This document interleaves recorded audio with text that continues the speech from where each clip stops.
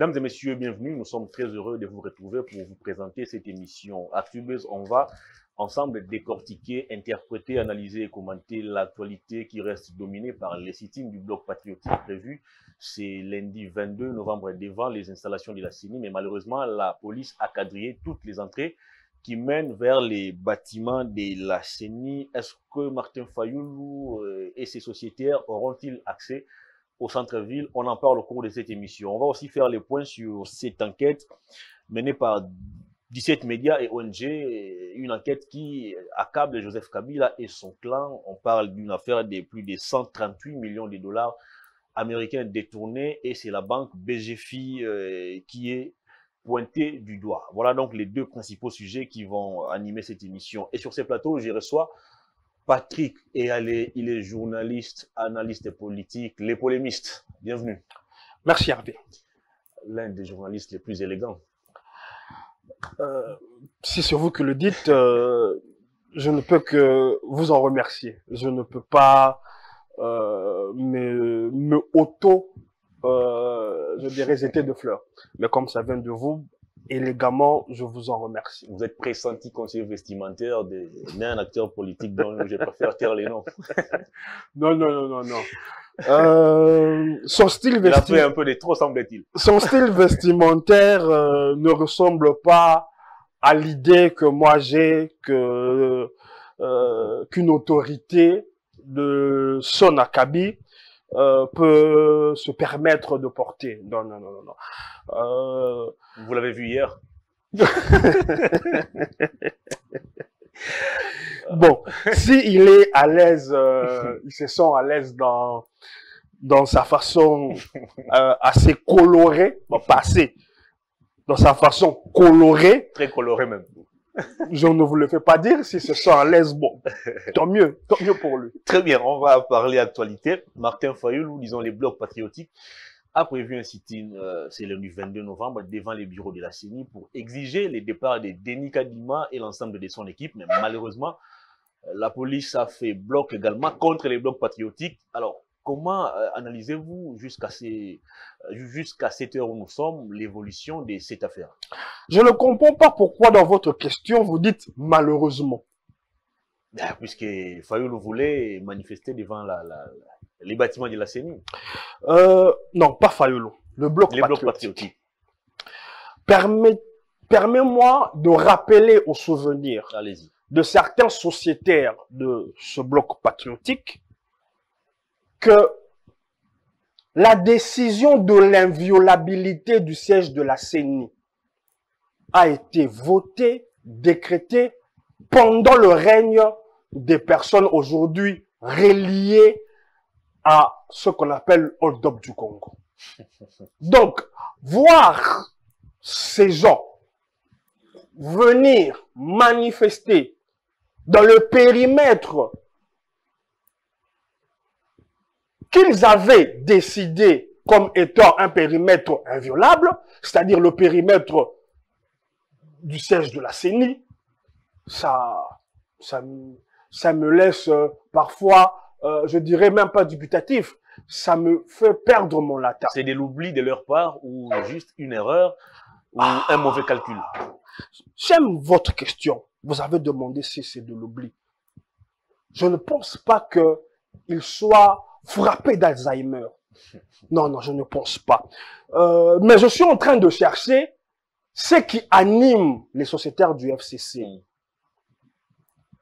Si au moins ils avaient fait acte de contrition en disant, non, dans le temps, nous avions interdit ceux qui s'opposaient contre euh, Nanga, contre Malou Malou, contre, contre toutes les décisions euh, et entrer à la CENI, c'était une mauvaise décision de notre part. Nous la regrettons. On pouvait comprendre leur posture d'aujourd'hui. Sans rien regretter, ni de cet acte de décider de l'inviolabilité de ce périmètre, ni de beaucoup d'autres choses. Mmh. Mais je vois ces gens, aujourd'hui, venir faire ce qu'il reprochait il n'y a pas longtemps. Il ne reprochait pas simplement Qui se souvient encore des Jeux du serveur? Avec Maître Germain Chabani que je salue au passage. Mais il y a eu des morts pour empêcher ces manifestants de fouler ce périmètre. Il a, été tabassé ici sur les boulevards. Hein. Merci de le rappeler. Pantalon déchiré. Merci de le rappeler. Mais c'est quand même curieux que de voir nos amis de Hold Up Congo aujourd'hui venir solliciter de faire un sit-in. Devant les bâtiments de la CENI. Devant le bâtiment. Quel bâtiment eux-mêmes ont décidé que ça fait partie des périmètres inviolables. Doit-on nous dire que dans le temps où ils avaient décidé cela, ils étaient dans l'erreur? Question marque. Question Mais, mais, par leurs propres mesures. Ils sont victimes de leur propre turpitude. Mais il n'y a pas que les gens du FCC. Hmm. Il y a dans ce conglomérat du bloc patriotique euh, les gens de la MOCA, mais aussi voilà, euh, non KLC, KLC mais aussi également. Voilà, le démembrement politique de la SENCO. J'entends par démembrement politique le KLC, qui était un regroupement. C'est la, la, branche politique de la SENCO.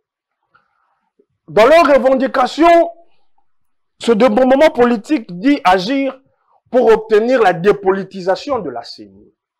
J'aimerais qu'on s'arrête un peu sur ce point-là. J'aurais voulu qu'il nous, qu'il nous explique dans des termes plus faciles, dans des termes simples à comprendre, qu'est-ce qu'est la dépolitisation? Aujourd'hui, ils ont sit-in, même si on accordait ce sit-in, qu'ils faisaient euh, le brouhaha euh, qu'ils aimeraient bien faire, qu'ils chansonnaient euh, leurs chansons dont ils auraient envie, du style Shinarambazonga, on peut bien leur accorder tout cela. Mais à la fin, à la fin, il faudrait qu'ils nous disent, parmi l'objet de leur revendication, mm. qui les amène à vouloir violer l'inviolabilité du siège de la CENI, qu'est-ce qu'ils entendent par dépolitisation de la CENI? Parce que, parce que, de mon point de vue, de mon point de vue, la neutralité, la dépolitisation de cette institution n'est qu'un leurre, n'est qu'un leurre.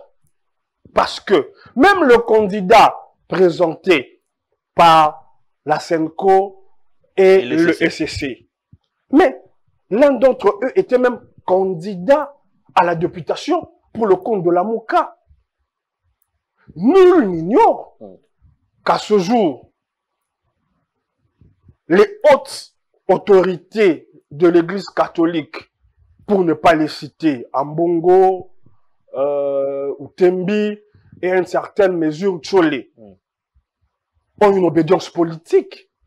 Autant hier, parce que quand je dis cela, les gens me disent, mais avec, ils étaient contre Kabila, vous étiez ensemble. effectivement, ils étaient contre Kabila et ils étaient ensemble avec les forces de l'opposition mm. dans le rassemble contre Kabila. Mais au jour d'aujourd'hui, souffrez aussi que l'on dise qu'ils sont dans l'opposition avec la Mouka mm. contre le président actuel. Mm. Pourquoi le dire froisserait euh, certaines sensibilités? Donc, ils sont dans l'opposition.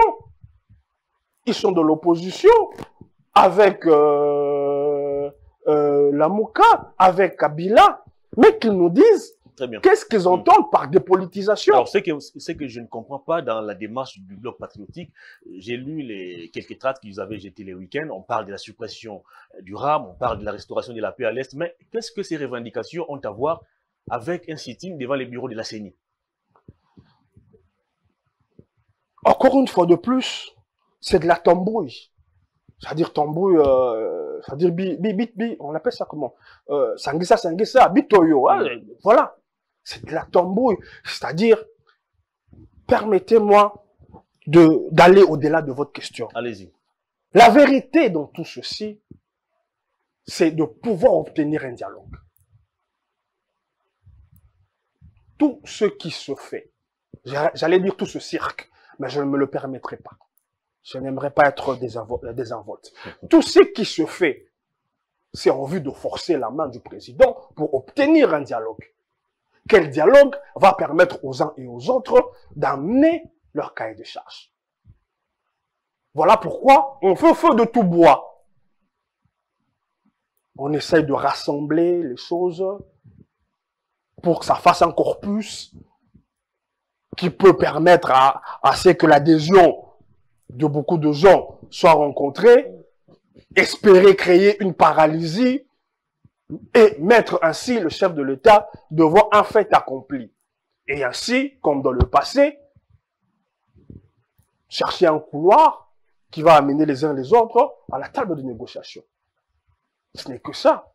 Parce qu'il est impensable, il est impensable de dire que on va aujourd'hui enlever Denis Kadima de là où il est. Ils le savent. Ils le savent. Et même si euh, je, n'aime pas trop euh, mettre de l'eau au moulin aux Occidentaux, mais les Occidentaux leur, ont donné euh, un conseil, je, je, crois, fort à propos, en disant aux uns aux autres de se concentrer sur le reste, à savoir la loi électorale, hmm. pour que, euh, pour, pour que euh, les outils devant amener à une crédibilité, à la transparence des élections soient renforcés. Très bien. On va parler du Congo Hold Up, mais dernière question. Les blocs patriotiques ne décolèrent pas. Le 27 septembre, novembre plutôt, ils seront de nouveau dans la rue. Ça ne vous fait pas peur? Non, non, non, non, non, non, non. C'est, euh, je dirais, la respiration normale de la démocratie. Mais je suis simplement un peu chagriné pour quelqu'un pour qui, euh, euh, je dirais, euh, je cherche le sentiment qui me lie à lui, mais bon, le mot ne vient pas. Bon, quand ça vient, je pourrais le sortir de, de mon chapeau. Je me disais que je me sentais chagriné pour Fayolo. Parce que, voyez-vous, dans la marche euh, précédente, j'ai vu un t-shirt où on a... On a Chadari égale Fayolo. Chadari égale Fayolo. J'ai été peiné. J'ai été peiné. Pourquoi? Parce que, à mon sens, l'équivalent de Chadari, c'est M. Devos Kitoko. Parce que, non, non, Ouais, l'un est secrétaire permanent, l'autre secrétaire, général. secrétaire général. Hmm. Je ne vois pas et je ne comprends pas pourquoi associer Fayolo à Chadari. Alors que Fayolo est président de l'ECD, Fayolo est président des regroupements politiques au même titre que Kabila. L'équivalent de Fayolo, c'est Kabila, ce n'est pas Chadari. Fayolo a séché la marche comme Kabila. Je reviendrai sur cet aspect. Vous, vous, vous allez, euh, euh, avec moi, comprendre euh, je dirais, ce traquenard, parce que pour moi c'est un traquenard, c'est un traquenard. Fayoulou, que les gens du FCC considéraient comme un nain euh, politique, une expression que je reprouvais d'ailleurs, semble jusqu'aujourd'hui n'est pas respecté à sa juste mesure. C'est le leader qui est devenu Fayoulou. S'il est vrai qu'avant les élections, Fayoulou, pour moi, à mon mhm. sens, faisait partie des leaders, je dirais pas majeurs, pour ne pas dire mineurs, parce que pour moi, avant Genève, Fayoulou, il était dans le même diapason que les Sessanga, que les, les Lubaya, que les Wemba, que notre, notre aîné de, du Katanga, euh, Muyambo, qui d'ailleurs n'a pas manqué de le dire, Fayoulou, d'après Genève, avec le concours, avec le concours de Bemba et de Katumbi a pris de l'épaisseur. Il est aujourd'hui, euh, je dirais, euh, il est aujourd'hui un leader majeur incontestable.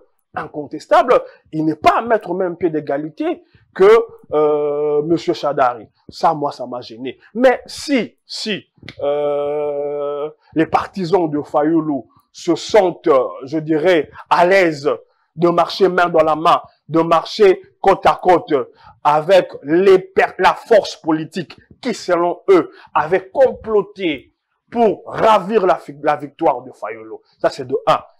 Bien, grand bien le fasse. Deuxièmement, je suis aussi surpris de voir M. Fayolo, M. Mouzutou et les partisans aujourd'hui, aujourd'hui se retrouver dans un même camp dans un même camp que M. Kabila. Euh, euh, euh, Rappelez-vous, qu'est-ce qu'on n'a pas entendu de l'alliance entre Tshisekedi et Kabila de la part de Fayoulou, même des, des, des, des, des prêtres? Qu'est-ce qu'on n'a pas entendu? Est-ce qu'aujourd'hui, l'école CC est fier de marcher avec des gens comme des Félix Kabang et nous Comment ça s'appelle? Félix Kabang ou Kabang? Félix Kabang et nous Félix des gens qui ont déshabillé des prêtres hier. Est-ce que les gens du CalCC sont, sont aujourd'hui fiers? Quand je vois Maître c'est aller marcher avec une chemise où euh, les noms de toutes ces victimes de la barbarie du régime Kabila et, sont, euh, sont estampillés, est-ce que tous ces gens sont, sont aujourd'hui fiers de marcher avec les FCC Puisque vous l'avez cité, j'ai beaucoup euh, de sympathie et d'admiration pour Maître Hervé, mais je dois avouer que qu'il marche, cela va de soi. Mm.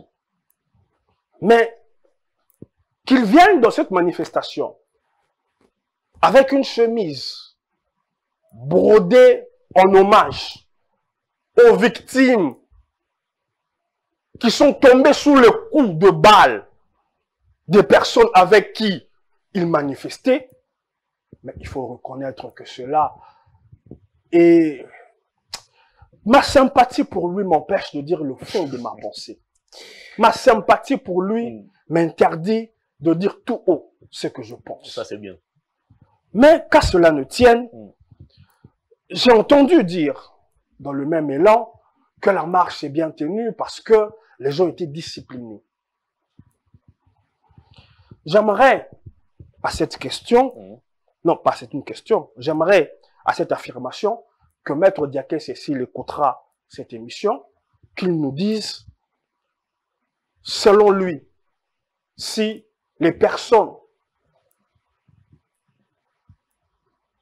qui sont tombées sous le coup de la barbarie de de leurs euh, nouveaux alliés l'ont été parce qu'ils étaient indisciplinés. J'aimerais que les prêtres, semble-t-il, c'est eux qui ont appelé à cette union, nous disent aujourd'hui si le fait qu'ils aient été gazés, brimés, Déshabillés même. déshabillés était du fait des propos tenus par le même Félix Kabange. Vous vous souvenez quand il a euh, fait asseoir à même les sols des manifestants, mais aussi avec un abbé. Donc tout ceci, euh, Très bien. tout ceci est, je dirais, pour, pour certains, pour certains, dont je n'aimerais pas citer les noms, c'est regrettable. Très bien. Joseph Kabila et son clan de nouveau pointés du doigt après Panama Papers, après euh, tout ce qu'on a connu comme enquête, après les révélations de Jean-Jacques Lumumba. Cette fois-ci, c'est un groupe de 17 médias et ONG qui nous brandissent une enquête qu'ils appellent Congo Hold Up, plus de 138 millions volatilisés. Est-ce que c'est de l'acharnement politique? Est-ce que les régimes actuels, les régimes Félix Tshisekedi veut avoir la tête de Joseph Kabila Kabange Très belle question. J'ai trois ou quatre grilles de lecture par rapport à cette question. Allez-y. Je vais d'abord commencer par donner mes impressions par rapport, je dirais, aux réactions de chaque bord politique. Je commence d'abord, euh, je commence d'abord par le bord politique que, que conduit M. Fayoul. Vous avez, j'espère, remarqué avec moi que c'était silence radio Exactement. lui qui nous avait habitués à ne pas être avare en tweet. Il suffisait qu'un bruit s'ébruite, qu'on aurait charouvé 10 dollars, je sais pas où, il tweetait. Il s'est présenté et ses partisans les présentent comme le gardien de la vertu. Les soldats du peuple. Non. Soldat du peuple, c'est dans, un, dans une autre casquette. Mais il a aussi cette casquette de quelqu'un irréprochable quant à tout ce qui touche aux histoires de délits financiers.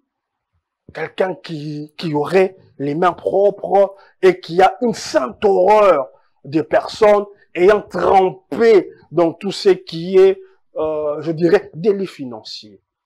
Mais cette posture, pourquoi je dis posture? Vous vous souviendrez, avant que M. Fayolo ne se rapproche de M. Mouzito, il a un jour tenu de propos en disant que la place de M. Mouzito, c'est en prison. Un. Deux, avant la séquence de Genève, Mhm. les proches de Fayolo savent ce qu'il disait de Katumbi. Et même avant la désignation du candidat commun, intervenant sur le plateau de TV5, il n'avait pas hésité à égratigner M. Katumbi en disant que lui ne faisait pas la politique pour l'argent. Pas seulement cette séquence, quand M. Katumbi a dit qu'il ne voit, que- a, a, je dirais, quelque part reconnu l'élection Mhm. et a dit que la démarche de la résistance n'était pas euh, son, son lot. Monsieur Fayolo a tenu, euh, a fait une interview accordée au journal Le Monde avec Monsieur Tiloun. Il a dit aussi, il a été aussi, je dirais, il a dit le fond de sa pensée que Katumbi ne faisait la politique que pour l'argent. Où je veux en venir je serai objectif en disant que la posture que prend M. Fayolo, il n'est pas la seule à la prendre. Mais qu'il souffre que je caricature ceci à travers lui. Nos politiciens ont tendance à absoudre les gens quand ils sont avec eux. Voyez-vous, à chaque fois qu'un politicien est en alliance avec quelqu'un, tout le mal qu'il a pensé de cette personne cesse. Parce que cette personne a dit que je suis avec vous, je suis... C'est un peu le cas avec les partis présidentiels aujourd'hui. J'ai dit, On a blanchi Mende, Mende c'est les saints, J'ai dit- discours est facilement applaudi. j'ai j'ai On a dit, oublié tout ce qu'il avait dit hier contre le président de la ça, République. ça ne vous a pas échappé que j'ai dit que c'était à l'image de nos politiciens, mais que je me suis excusé de peindre cette image à travers Fayolo. Pourquoi j'ai choisi Fayolo? J'ai choisi Fayolo à dessein parce que euh, certains de ses partisans, naïvement ou je ne sais pas moi, euh, subtilement, Mhm. semblent faire croire à l'opinion que lui est une espèce rare, que lui n'est pas semblable aux autres politiciens. Voilà pourquoi j'ai donné cet exemple de lui qui, mutatis mutantis, s'applique à tous nos politiciens. Quand on est avec lui, quand on est avec eux, vous êtes absous. C'est pour cela que je ne suis pas étonné de ne pas entendre Fayoulou se prononcer sur cette enquête. Parce que tout le monde sait qu'il a, qu'ils ont une alliance. Quelqu'un m'a dit c'était conjoncturel. Conjoncturel ou pas, ils ont une alliance avec M. Kabila. Donc, de ce fait, il se sent gêné aux entournures que de commenter des choses allant dans le sens d'accabler M. Kabila. Parce que je peux mettre ma main à couper. Si cette enquête parlait de Tshisekedi, à la seconde où c'était rendu public, vous allez avoir la déferlante des tweets condamnant, demandant l'arrestation immédiate. Très bien. Ça, c'est mon premier, euh, je dirais, euh, euh, constat. Mon second constat se tourne vers la SENCO, que je considère comme étant, avec euh, leur démembrement euh, calcé, un bord politique. Vous vous souviendrez que dans l'affaire 15 millions, la SENCO a poussé à travers KLC, ils ont fait des marches pour obtenir la lumière Mhm. sur ces 15 millions. Mais, curieusement, ni celui qui n'a pas sa langue dans sa poche, je parle de M. Labenjoné, ni mon ami pour qui j'ai beaucoup de sympathie, dont je ne préfère ne pas citer le nom, personne d'entre eux qui représente ce bord politique Sur les devenus TSE depuis un moment. Je vous dirai pourquoi après. Aucune de ces personnes représentant ce bord politique du courant politique catholique ne s'est exprimée. Mais comme ma conclusion sur M. Fayolo, je pense que s'il s'agissait de M. Tshisekedi qui était pointé dans cette enquête, Mhm. crois-moi, M. Nchole allait sortir de son long silence. Mais comment côté UDPS, on ne réagit pas aussi jusque-là? Permettez-moi, je veux prendre tous les bords politiques. Je, ne- je, euh, vous savez que euh, malgré mes positions connues, assumées, je ne manque pas. Les polémistes. Merci bien, merci bien. Je prends maintenant le bord politique Mm. des concernés eux-mêmes. Mm. Les FCC. On a brandi un communiqué. D'une faiblesse, d'une... euh, je serais gentil, je n'irai pas plus loin que ça. Ce communiqué était, était d'une faiblesse. Non, c'est une consoeur qui l'a rédigé. Je veux m'attarder sur ce que le conseiller, l'ex-conseiller diplomatique de M. Kabila, voilà, Ah, Franchement, ce pays. Non, non, non, non, non. Ce pays nous va, nous a montré de toutes les couleurs. C'est mon professeur. Hein?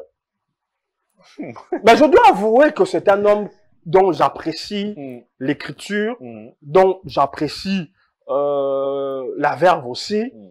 Mais bon, hélas, trois fois hélas. On nous dit qu'il y aurait un complot. Et dans ce complot, ils incorporent le président actuel.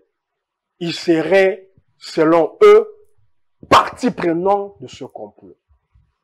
Vous voulez livrer Kabila Voilà. Je vous dirai pourquoi cette approche ne tient pas la route quand je parlerai du bord politique du président de la République. Mais pour l'instant, je suis euh, avec nos amis FCC. Papi Tamba vous dit si avec Lum- Lumumba ça avait marché, avec Kabila ça ne passera jamais. C'est bien beau, mais moi j'aurais voulu qu'ils nous disent que cette enquête est totalement fausse. Je veux vous prendre juste, euh, je dirais, une séquence de cette enquête.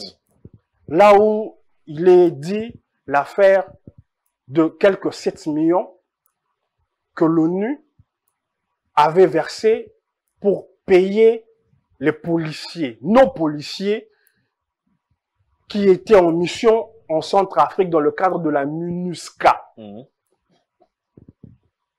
Il a été dégagé une somme d'argent équivalent, je crois bien, à quelque chose comme 1500 dollars nageant, multiplié par le nombre de temps qu'ils ont fait. Chaque policier devrait se retrouver avec une cagnotte de plus ou moins 50 000 dollars. Moi, j'appelle mon ami Sango, Israël. Ces policiers ne sont pas morts. On les connaît.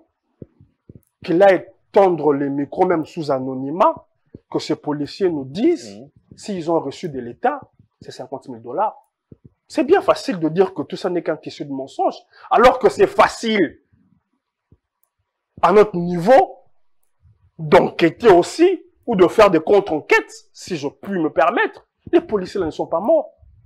Mais si il est vrai que cet argent destiné aux policiers a été détourné, souravé, j'en appelle au président de reparer cette injustice. Vous savez, moi, je suis quelqu'un, je suis pas un prude. Je suis pas un puriste. Quand, j'entends, non, il a volé, il a détourné, ah, je, je ne me touffe pas en disant, non. Parce que je sais que l'homme est ce qu'il est. Mais parfois, il y a des situations, Mhm. il y a de ces détournements qui, quand même, ma policier, vous savez ce que peut représenter dans la vie d'un policier l'opportunité d'avoir 50 000 dollars. 50 000 dollars. Que l'on vole, C'est des, c'est des faits qui n'arrivent pas tous les jours. que l'on vole euh, l'argent des institutions qui, hein, des institutions internationales, quoi, Bretton Woods, euh, qui eux-mêmes euh, sont, euh, je dirais, objets de nos malheurs parce qu'ils ont, je peux comprendre. Mais là, là, Parce là- que moi, quelqu'un me disait, euh, une fois quand j'étais dans le privé, euh, on gérait l'argent euh, venant de Nations Unies, m'a dit Armand Amindele, Liba, Yango, tout ça. Tu vois un peu, c'est-à-dire, c'est, c'est, c'est pas correct, Très bien. mais c'est des choses qui, moi, ne me meut pas. Mais l'argent destiné à des personnes qui sont allées au risque de leur vie, payé par l'ONU, même pas par l'État, que nous sommes, mais que vous détournez. Et là, Si, c'est en- si, si cet état de fait hum, est avéré, il est facile qu'on le sache. Je demande au président de reparer. très bien, on va terminer l'émission. Deux questions. Euh, non, non, non, j'en ai pas fini. Hmm. Il reste deux bords politiques. Il reste, parce qu'on ouais, ouais, je vais, je, vais finir. Hum. Il reste le clan Katumbi. Vous avez aussi observé Et notre silence. qu'il ne dit pas son nom. On n'est pas, euh, je dirais, euh, on n'est pas, euh, on n'est pas les moins informés. Nous savons qui communique pour qui. Nous savons euh, qui sont les bourses autorisées. Hum. D'ailleurs, ça c'est facile à savoir.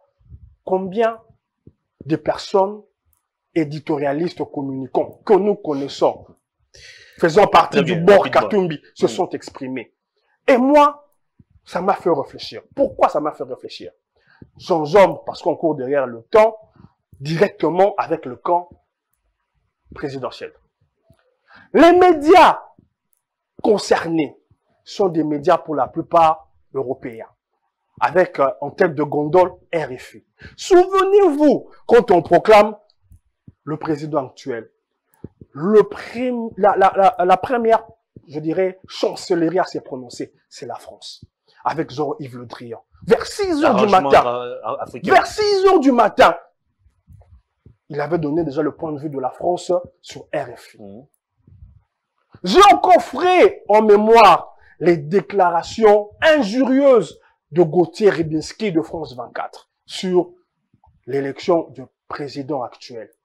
Donc, moi, avec la politique française, Hum. relayée par ces médias, dont RFI et sa correspondante, je me méfie d'eux. Je suis avec eux, je dirais, non, pas je suis avec eux, j'ai l'impression, comme jadis, Hum. on disait, les Grecs, même quand ils vous font cadeau, il faut s'en méfier. Très bien. Pourquoi je dis cela? Mm. La plupart de ces médias Mm. sont connus pour leur position tout sauf bienveillante, sauf clémente vis-à-vis du pouvoir de Félix. Dans la géopolitique, pour ceux qui sont avisés, on sait que c'est plutôt les États-Unis qui entretient des relations, je dirais, euh, entre guillemets, privilégiées avec le pouvoir actuel. Et non, et non Hum. Les chancelleries qui ont agi à travers leurs médias. Très bien. Maintenant, maintenant, Mm. maintenant, il va de soi que la plupart de ces médias, je ne dirais pas qu'ils soient à la solde, mais ils ont des accointances avec un leader d'un des bords politiques. D'un des bords politiques. Mm. Ces médias ont un accointance avec un des leaders cités ici. Très bien. Nous sommes obligés d'arrêter. Non, je serais injuste si je ne parlais pas. Nous sommes obligés d'arrêter malheureusement. Non, On ceux, fonctionne avec les batteries et on me signale que non, ceux qui me suivent ne comprendront pas. déjà. Ceux qui me suivent ne comprendront pas que je parle aussi du Rapidement. camp euh, présidentiel. Moi, je suis convaincu Mm. que le camp présidentiel sera aussi cité euh, dans cette enquête, Dans les années qui viennent. pas dans les années, dans les jours, dans les semaines qui viennent. Et j'aimerais tirer la sonnette d'alarme. Mm. Je ne souhaite pas pour le président, pour qui je ne cache pas ma sympathie. J'aimerais ici lui dire encore, je sais qu'il a l'habitude de faire suivre les monitorings, qu'il ne commette pas une de pires erreurs qu'a connu son prédécesseur. Lequel? Quand M. Kabila est allé en Angola, Mm. quand M. Kabila a vu ce que le contrat sino-angolais a produit en termes d'infrastructure, en termes d'immobilier, M. Kabila a été très peiné par rapport à ses collaborateurs. Il était très fâché contre Père son âme, Pierre Lumbi, qui était à l'époque ministre de l'ITPR. Mais qu'est-ce que M. Kabila a fait? Au lieu de mettre M. Euh, Lumbi euh, par rapport, euh, le, le, à la disposition de la justice, il a été encore élevé. Il a été démis de cette fonction et il a été élevé à la fonction de conseiller spécial en matière de sécurité. Alors que les contrats chinois Très bien. pesaient des soupçons graves On a terminé. sur, permettez-moi, sur Pierre Lumbi. Et j'ai l'impression, ce n'est plus, c'est plus qu'une impression, que le président actuel est dans la même faiblesse. Il n'arrive pas à sanctionner, à mettre de côté ceux de son entourage qui sont cités pas à tort, parce que une fois, deux fois, mais il y a certains conseillers qui se retrouvent dans plusieurs dossiers compromettants. Et Monsieur le Président n'arrive pas à taper du poing sur la table. Très bien. Ça risque de lui coûter très cher à la fin des comptes. Votre message est passé. On est malheureusement obligé d'arrêter l'émission. Euh, vous comprenez qu'on travaille dans des conditions très difficiles. Hein. Vous, vous, êtes en, euh, vous, êtes en, transition pour aller, euh, j'espère que ce n'est pas un scoop, mhm. euh, vous êtes en transition, m'a fait savoir mhm. Christian, d'aller vers vos studios qui sont presque finissants. Mhm.